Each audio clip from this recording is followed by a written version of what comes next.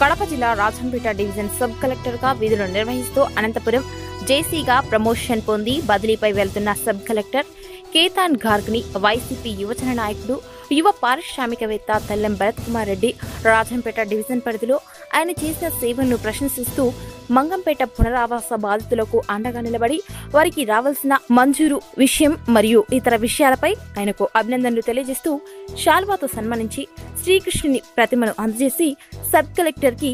భరత్ కుమార్ రెడ్డి ధన్యవాదాలు తెలియజేశారు.